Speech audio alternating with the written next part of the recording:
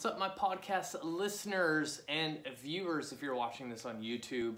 Um, this is your host, Rafal Matuszewski, and this is going to be a special edition of the podca- podcast. Can't speak today, wow. And YouTube vlog video thing that I've been doing. But um, we are going to do a comprehensive tutorial on the Turkish getup because I do have a tutorial on my YouTube channel, um, but it's about five minutes, and I really want to take the time and crush this thing out step by step, and I'm going to be moving the camera a lot if you're watching. Um, for the listeners, I'm going to be as descriptive as possible because obviously if you're not watching, you're going to kind of miss the point. But if you know what the Turkish getup uh, exercise is, um, you'll kind of be able to follow along and understand. So we've already done a whiteboard session on the benefits of the Turkish getup. We don't need to go any further into that because if you are an avid listener, follow over my content, you understand all that. Um, so the next step is now putting into practice. And I wanted to showcase what we could achieve with the Turkish getup step by step. What are the most common mistakes? What you know most people see, well, what I see that most people do, um, and where to kind of fine tune things and how we can use the Turkish getup as a assessment tool. So, without further ado, we're gonna get into it, but we gotta do some shout outs. So, new number one city, all the way in the state of Illinois, the city of Dixon. Shout out to everyone in Dixon listening to my show. Super awesome to see you guys up there. And number two, again, the city of Jar in Norway. Shout out to all my Norwegian listeners. That's super cool. Um, and number three, here in Canada, the city of Lethbridge. Shout out to everyone in Canada listening to my show. Super awesome. So let's get started. Um, Turkish getup. As you recall, the getup itself kind of stems from a developmental standpoint, um, how a toddler develops. And it all starts with lying down in a supine position. So with the get up, you're starting on your back. So if you imagine yourself lying down, super easy, right?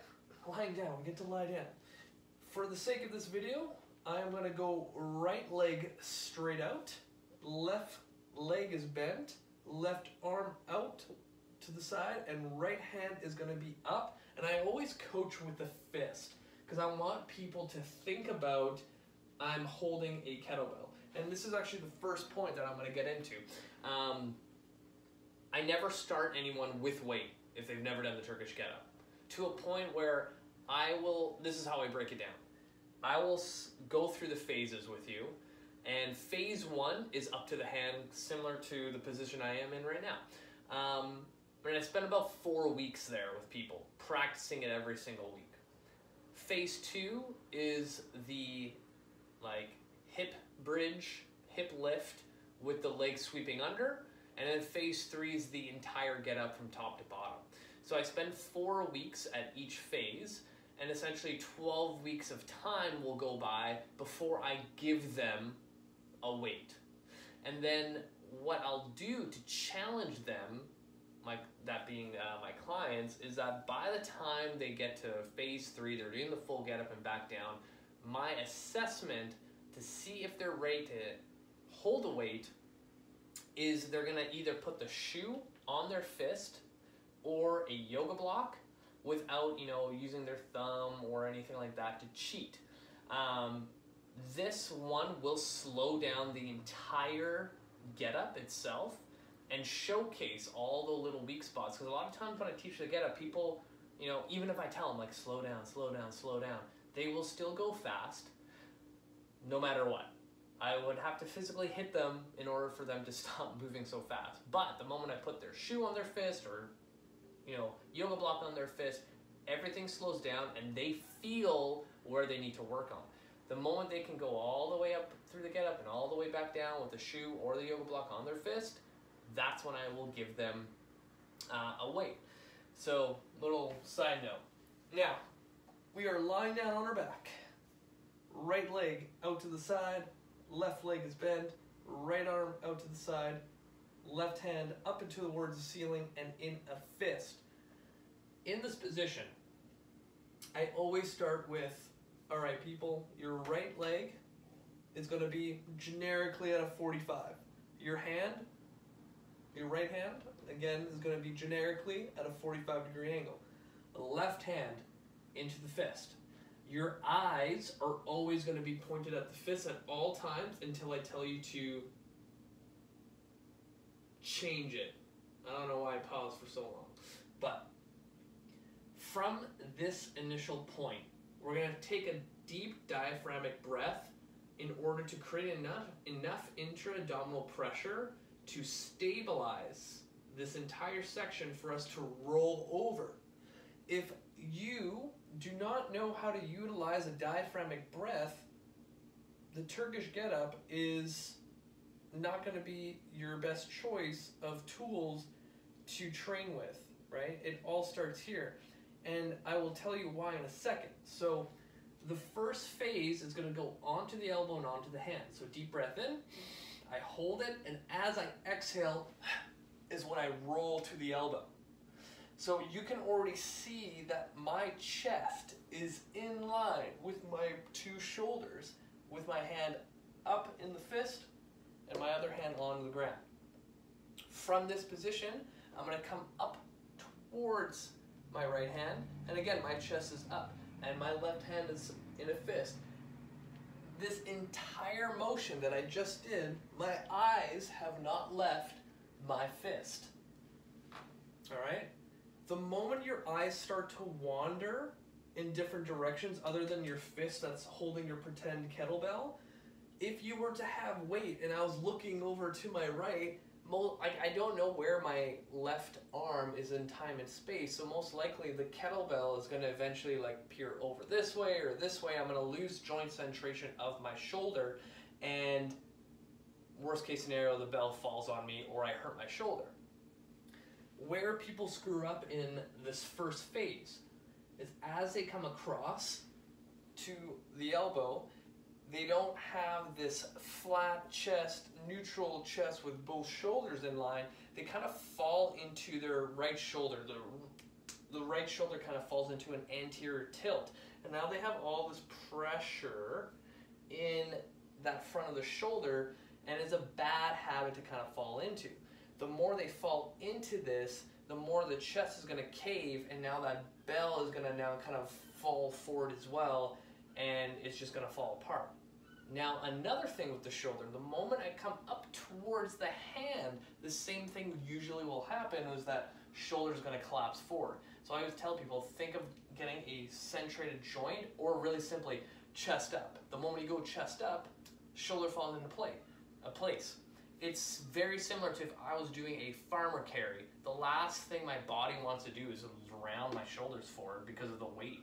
It's not going to feel that good but it's going to naturally want to go back if the weight's heavy enough. So in the get up, you don't really get that same um, sense of feeling. You have to find it with your shoulder.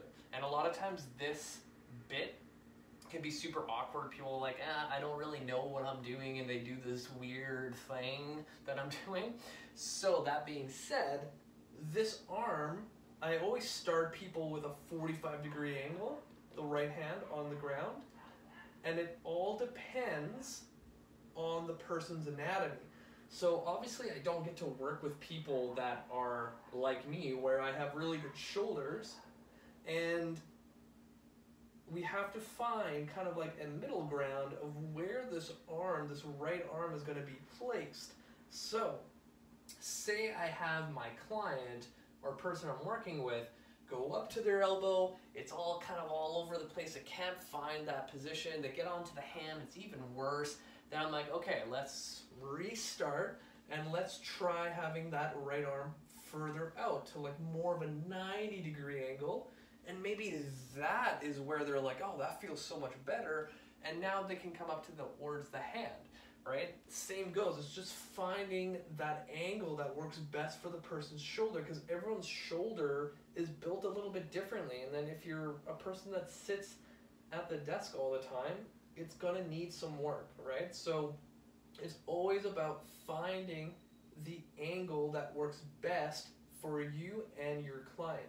So this right arm, totally up to you where you want to put it. Now, the next thing, as I come up to the elbow, sometimes the issue is when they come up, no matter where they place that hand in the very beginning of the get up, it's still going to feel awkward. So sometimes on that elbow, I'll tell people to either take that right hand and swivel it out and then come up, and then they're like, oh, that made it a lot easier. Or they can, you know, swivel it in and then come up, and they're like, oh, that's a lot better. So now you have another option based on someone's anatomy. You can rotate the elbow into the different positions so then when you come up onto the hand, it's a different angle for the shoulder to be placed in. So you can already see there's so many different little variations in just this first phase, and I haven't moved on to other things that we can play around with. That being said, this also shows you what's going on with the person's shoulder. If I know that no matter what is going on with all these different variations for this hand, then I have a lot of work to do with this person to ensure that they you know get better shoulder mobility. And sometimes it just comes in time. Like you know i create a program for somebody and i want them to utilize a turkish getup and I know their shoulders are not the best, but in conjunction with the Turkish get up, maybe I have them doing a shit ton of shoulder CARs, scapular CARs, shoulder external rotation, PAILs and RAILs, that kind of stuff. And eventually will come in time and that get up's gonna look a lot cleaner, right?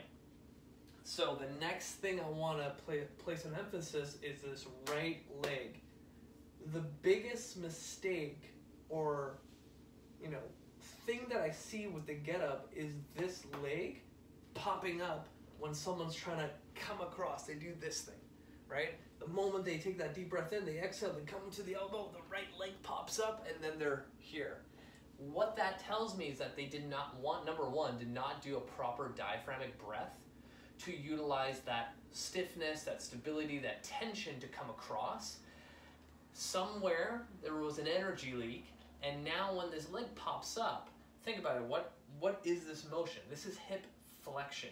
That means my hip flexors are pulling my torso up, right? And if you think about it, you're like psoas major, that big, big, big hip flexor. It connects right underneath that diaphragm. So that's why a lot of people end up looking like this to get up, and it's a struggle. So what that means is that a person's core might not be strong enough. They still don't know how to breathe properly so they need to kind of go back to the foundations of learning how to utilize a diaphragmatic breath, some basic dead bug progressions, some basic bird dog progressions, things like that, and then come back here. A lot of times I'll see on Instagram or Facebook people that are not kettlebell instructors um, that think they are able to do kettlebell workouts and they do like heavy get ups and super sloppy and their entire leg pops up every single time. They're just like muscling it through, and then you wonder why people have low back pain trying to do swings and Turkish get-ups. So sometimes it's just about teaching a person how to create tension in the get-up because it is a dynamic movement, but you can add parts of it with a more um, tension-based uh, approach. So, and I'm going to move back to the arm in a second too about that. So in this position, when I see that right leg pop up, sometimes as simple as like telling, hey, when you roll across to the get up, I want you to drive your heel into the ground as hard as possible. So when they come across with that added tension of their heel, now they kind of created this chain of tension in order to come up. That being said, you can also do that with another body part. If you remember correctly, you have your right leg straight out, adding that tension. Your right arm is also into the ground. So I always coach the hand being pushed into the ground at the same time as the heel. So now they have more tension driving in. So you're using your hand, you're using your heel.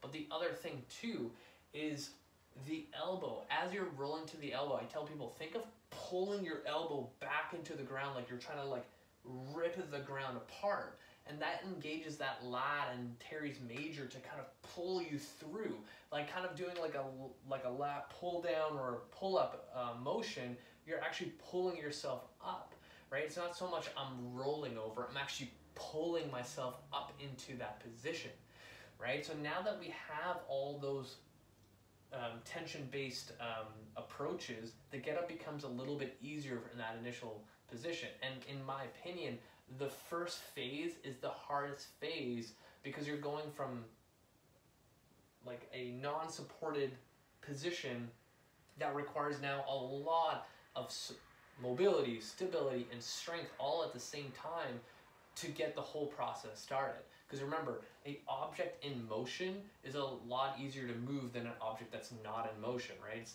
basic physics, I think. I can't remember. I did terrible in physics. But um, yeah, so also with the leg, similar to the arm, it all depends on the position. So sometimes you'll see people with really, really tight hips or hip stuff, sometimes that 45 is not gonna feel good. They'll pop up, it's gonna like fall apart and collapse. So you're gonna have to find different angles where the leg can go. Like there's nothing wrong with having the leg straight in order for you to do a get up. Right? Like there's no rule against it. You can use whatever angle you need in order to get there. Um, sometimes what you'll get is when people are in this abduct position of their leg and they try to come across, their like TFL and hip flexor can start cramping because they're just not used to this position. Um, another thing that I've seen is people with really tight hamstrings, they can't lock out their knee in this extended position. So having a slight bend in the knee, again, not a big deal to get through the getup. Like you gotta work with what you got. A lot of times people try to put that square peg in the round hole constantly and they're left with painful painful patterns and they end up with fucking shit that they don't want. Um, that being said, sometimes if the shoulders are not there when it comes to the get up, I will sometimes leave the person there for another four weeks um, doing the get up. So here's an example. Most people with shoulder issues, they need shoulder stability. Sometimes I will use the Turkish get up just phase one for like 8 to 12 weeks for this one particular person that needs a lot of stability in their shoulders, but they don't have the mobility to go overhead because as we progress in the get up, we need a lot of more, like a lot more range of motion, right? And if someone's overhead looks like this, like I'm out the candle, my elbows bent, there's no purpose of me doing the get up at that point, especially in a loaded position, right? I'm just feeding the fuel to the dumpster fire of a shoulder. Um, so sometimes I will like do the four weeks and I know that, hey, their shoulder flexion is not the greatest. We're gonna stay another four weeks, but now I'm gonna add, you know, the yoga block, the shoe, whatever, to add a little bit of um, feedback to see if they can keep everything else in integrity as they uh, progress. And then maybe the next phase is where I give them a kettlebell. Or maybe in that phase after they do their first week with the yoga block shoe, whatever, so easy, it's like, okay, let's load it now and get really strong at it. And then say like their shoulder mobility is still not the greatest and I can't get them into that overhead position, then I will give them the kettlebell in a bottoms up position to challenge the shoulder a little bit more, right? So this is where you can utilize the get up in so many different ways, right? Um, that being said, we are going to go into phase two. I'm really hoping that I'm going to get this under an hour because we're already at 20 minutes. So, from phase one, I want to make sure I'm in the shot here. Left leg bent, right leg straight out, right arm straight out, left arm up towards the ceiling in a fist holding my pretend kettlebell. Deep breath in, exhale. I'm on my elbow. I come up to my hand. From here, I'm sliding my hand in close to my torso slash hip. The reason behind that is the next step is I'm gonna push my hips up towards the ceiling into the high bridge, and from here my right leg goes underneath my entire body. This is phase two. The way I would come back is same way I came in. Sweep that leg out, slide my hand where it was, back onto the elbow, and then back down. All right, that's phase two. I'm gonna move the camera a little bit so you can see a little bit of a higher angle. Um, there's a lot of stuff that has to happen in this phase, and a lot of stuff can go wrong. So, number one, the eyes. Remember when I said that earlier? People will come through, they're ready, and the moment they come up and now they have to bring this right leg underneath, they look down on their leg to make sure they're placing it. And it's like, hello, what's happening with my left arm with this imaginary kettlebell? If I had a kettlebell and I look down where my leg is, this bell's going down to the ground. So at this point, I am still looking at my hand the entire time. All right? So, with that being said, we're to come back to all that. We need to focus on this right arm. So, if you remember, deep breath in. Exhale hard to the elbow. Chest is up, shoulders are in line. I extend the arm. From here, if I did not slide this right hand close to my torso and hip, what's to happen is I'm to have not, I'm not to have enough hip extension to get my arm through right? The moment I slide this arm in closer to my torso and hip, boom, I can get my hips so much higher to have so much room for my right leg to sweep underneath, right? So, just like I said in phase one, the shoulder is to do this weird thing, right? It's not going to know where to go forward or back or what's neutral. So when you slide that arm in, you got to do the same thing of keeping that chest up shoulder in that centrated position in order to be able to lift yourself up. Because remember, what if I was holding a 24 kilo kettlebell and this shoulder wasn't in line the way it should be and I left it out here, now I'm not in a straight line. Like you can even see in the camera, like that does not look good, right? You want to find a position where you can place that shoulder in a centrated position in relation with the hand and with the other hand towards the ceiling. That being said, again, everyone has different shoulders. So sometimes you don't have to go as close to the hip as possible. You can go a little bit further away, right? Now, when you have enough hip extension, this leg just slides right underneath the leg, uh, the body so easily. But what you will see is people not having enough hip extension, they don't go high enough, and they almost like drag this leg underneath to try to get it underneath, right?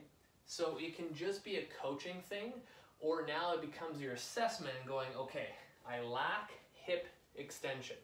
I need to do exercises that will give me more hip extension, especially in my warm up. Maybe I pay attention to my TFL, hip flexors, my breathing, in my soft tissue work before a workout to ensure that when I get to this point, I have enough hip extension to get my leg underneath. This is where a lot of people will um, screw up or have difficulty performing this movement. The other thing in that transition, there's a lot of stuff that can happen in that transition. So I'm about to lift my hip up and grab that leg underneath me sometimes when people come up, they don't really know where to place this right knee. Sometimes they cut it too short, sometimes they go too far back, sometimes they go too far back this way, they go too close this way, and they're all bunched up. So the best way, just like any other exercise, if I were to not stack my joints upon each other, things fall apart. So in this case, I want to get my right knee in line with my right hip right? So now when I'm holding a kettlebell in my left arm, like I am solid, right? I'm not going anywhere. I'm gonna move this arm so it looks a little bit better. So now in this tripod position, essentially, I'm sturdy. Like I could have a hundred pounds here and I'm not going anywhere because I'm stable and stacked, right? Another weird thing that I've seen is with this right foot, if you can see behind me, people won't have it in line with the knee. They'll kind of do this thing or have it too close this way. Like just have it right here, stacked and ready to go. All right. So now the other thing that I see in that transition that happens so much. Again, it can be a hip extension thing. It could be an ankle mobility thing. It can just be a motor control thing. But a lot of times when people try to come up, this left heel, for some reason, will come up for them to get through. It could just be a, you know, conscious thing that, hey, my right heel is going to be coming through and I don't want to hit my leg, which will happen sometimes. People will come and like kick their own ankle to come through. And again, it'll be a hip mobility thing, neuromuscular thing, hip extension thing, and it can also be an adductor thing. So that's my next point. So you can already see there's a lot of stuff that's required to perform a really good looking Turkish getup, right? So this is why too I spend so much time without weighting it because it's just similar to like hey my you know squat mechanics look like shit. So yeah let's load it with a fucking barbell on my back. No it's fucking stupid. You want to you know be able to squat with your own body weight without looking like a melted candle then like going to the thought process of like no fucking put a barbell on your back 135 is just gonna self-correct. Like no fuck that shit. You're gonna learn the way it's supposed to look like body weight and then add load to it. If you can't control it with your own body weight and your own arms and legs like what are the odds of it looking any better with weight um, tangent totally awesome so i'm going back to my transition as I'm bringing my right leg underneath, this left knee will sometimes just collapse in like this. A lot of times people have really tight adductors and they don't have enough hip external rotation to push this out. And in this position, like if you really think about it, you need adequate external rotation of this hip to showcase, you know, a solid foundation with a weight above your head at this point, right? Um, so sometimes like I even do this as a warm-up exercise. Like in this little tripod position, I will throw in some T-spine mobility while coaching to push this knee out to get a little bit more external rotation, right? You can utilize all these different positions that the Get Up provides as a secondary exercise. A lot of times people will, you'll see online, will break up the Get Up like I am, but add a little twist to it, a little mobility to it, or whatever it is, to help promote all the muscles involved um, to stay a little bit more limber, more flexible, or whatever you want to call it. Um, that being said, that second phase requires a lot, right? A lot. And again, just like phase one, I might extend it for another four weeks. You know, maybe this is where, kind of similar to phase one, I give them the shoe, to get them whatever, right? Because again, the shoulder doesn't need that much flexion um, ability in this position. So sometimes, you know, if I have that person with a shoulder issue, again, I spend another four weeks, their shoulder mobility improves, and now we're going to go up to the next position.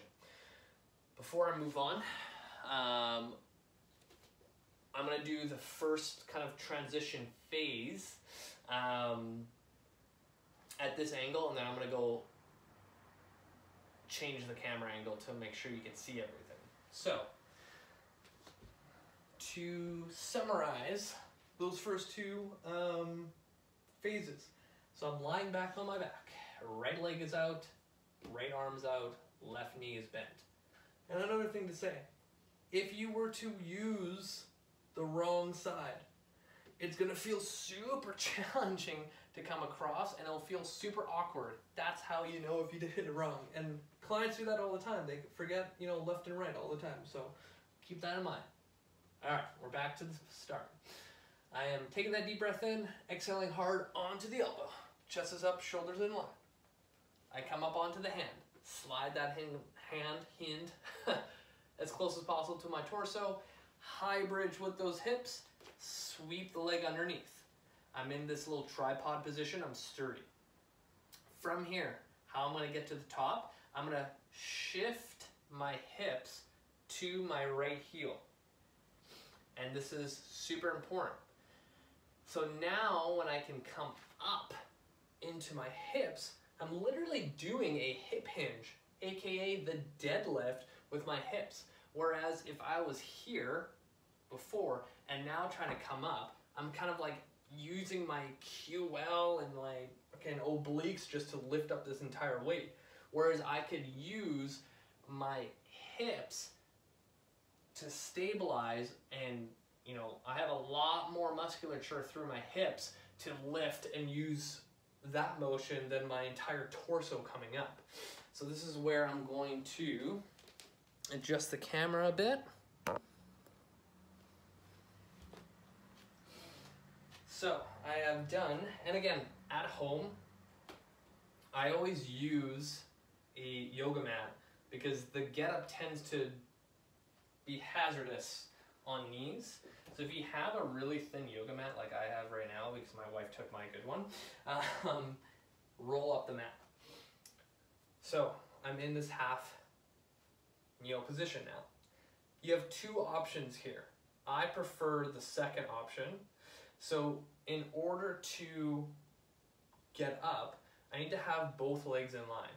So a lot of times people will take this right knee and swivel it in the back. So now I'm in a half kneel position with my left arm up. Or what I like to do instead, because sometimes like in this case where the flooring is not the best for my knee and the last thing I want to do is add like shear axial rotational force into it. Um, I can't remember the term that they use in strong first, but I call it closing the door. So in this half kneel position, I'm going to take my left leg and sweep it in front of me. And now I close the door of my hip into a half kneel position. And now I can lunge forward up into the get up position. And again, I know I'm kind of out of frame, but you get the idea. I'm standing up straight. Now I can come back, and the way to come back is I'm going into a reverse lunge, into my half kneel position. Now I gotta open up this leg. Now, same way it came up, I'm pushing my hips back into my heel, into a hinge, and my right hand is coming onto the ground. From here, I'm gonna shift my hips forward, and now from there, I can slide my leg out to that seated position. And again, right hand is gonna slide out, back to the elbow, and back down to the ground. Now, we did a shit ton of stuff there, like a lot. And there's a couple things we need to note when the eyes change. So, if I'm starting back up, I'm on my back, get to the elbow, I get to the hand, slide the hand in, I lift up those hips, I bring that leg underneath. I now shift my hips into that hip hinge, and I'm still looking up, I'm still looking at my eyes. I now push my hips forward into that hinge, and from this position, now I can look forward. Now this bell is above me, and it's just like if I was doing a shoulder press. I'm not looking every single rep above my head, because I know it's there. I'm stabilized, I'm good to go. It's kind of like the kettlebell armbar. Like I'm not looking at it, I'm resting my head forward because I know it's there. But you know, it I don't know where it is in space and time, but my shoulder has enough stability to keep it there. So at this moment, when I get to this half kneel position, now my eyes can go forward because now I need to see where I'm gonna go. So if I'm gonna choose the option of closing the door, I'm still looking forward and now I'm coming up into that standing position. Now, coming down, we want to recreate everything we did in order to come uh, back down on the way up. So if I am in the started position, left arm up, this right leg comes back into that half kneel position by going into a reverse lunge. This leg will open up back again, and now my eyes look back up because now I'm gonna push my hips back into that hip hinge. My right hand is here, right? Like, this is the other thing too. A lot of people make a mistake. Wherever my right knee is pointing at this uh, spot, is where my hand should go. A lot of people from here end up kind of just like falling over like this. And again, we're using that QL and uh, side oblique that's not as strong as your hips. So utilize your hips. These guys are strong. If you're deadlifting, lunging, whatever it is, like utilize your hips. So what I like to do is like slide my hand down the crease of where my hip is, down towards my knee, and that gives me a direction of where this right hand should go. So at this point, I'm looking, I'm sliding my hand down to the ground, and I shift my weight forward into the shoulder. Now I'm still stable, and from here I can lift that leg through, and I'm still looking at my hand, slide that hand out, elbow, I'm still looking at my hand, and back down. So that is the entire getup. Now, the other thing we need to mention is when you do get to the point of, you know, of weight, there is a proper way of picking up a kettlebell. And this is probably the biggest pet peeve that I hate that I see that people do. So I'm gonna grab my 12 kilo here on the right side. What I see people do is like, oh, I'm gonna do the get up, I'm gonna lie down, I'm gonna grab it. What happened there? What I just hit? I literally went from this position, I put my arm out, and by lifting it like almost like a semi bicep curl, I'm loading all my exter uh, external rotators and the inside of my elbow with all the stress to bring it in here do you really think that's going to feel good over and over and over? The way to do it, like I don't know why people don't see this as an easier option to keep your joints healthy. So you want to roll over to your right side if you're doing, you know, the right arm like we've been doing this whole time. Your hand comes underneath, your left hand goes over top. From here, you're going to roll over with the weight towards your chest. So much easier and like you can literally lift a hundred pound kettlebell if you wanted in that position. From here, you're gonna press up with both hands, and with kettlebells, um, you can move this guy into different positions on the forearm to make it feel a little bit better. Because sometimes, you know, again, bony anatomy, um, the size of the kettlebell, the you know the writing on the kettlebell if it's sticking out, like it all depends. So you want to adjust it as much as possible. The other thing from here that I see is when people are not gripping the kettlebell properly, they end up doing this with their wrist. This is the worst thing you can do for your wrist. So keep it neutral and squeeze the crap out of it, right? Say I did my get up, I'm back down. I'm gonna bring it back to my center of the chest and then roll over to place it down. Now, in order for you to transfer it over, and I won't showcase it right now because I'll probably destroy my floor and my wife will get mad at me.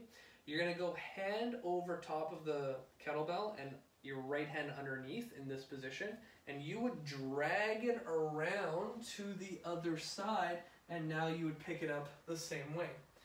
By doing this, you are going to save a lot on the shoulder. You're gonna save a lot when it comes to shoulder health, strength, whatever it is. So I'm pretty proud of myself that I got this done under an hour uh, because I can talk about it forever. But I'm happy that I finally got this together because the get up is one of those mm, really, really, really uh, complex exercises that needs a lot of coaching. And on top of that, like this is just a generic tutorial if I had someone in front of me, for sure their getup's gonna look a lot different or have different cues or have different options based on what's going on with their anatomy. So, um, if you have any questions, feel free to reach out. more than happy to respond. Um, like and subscribe this video if you're watching. Um, I'm going to be doing a lot more videos because people have been watching it, which is awesome. Let me know if you have any questions. Hit the show notes if you're listening. Click the video to watch it if you want to see everything I demonstrated. Um, add me on Facebook and Instagram. I post a lot of video content, and uh, you guys having a wonderful day. miss you guys. I love you guys. Till next time.